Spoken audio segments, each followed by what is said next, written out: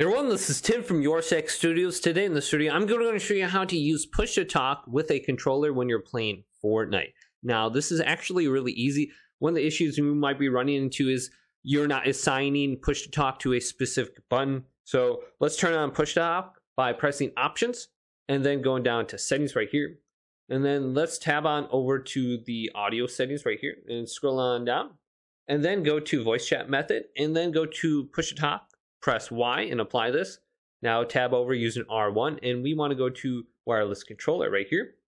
And we want to use the D-pad, scroll on down to custom, select custom, then go on down and let's assign this to the right D-pad. So this says squad request.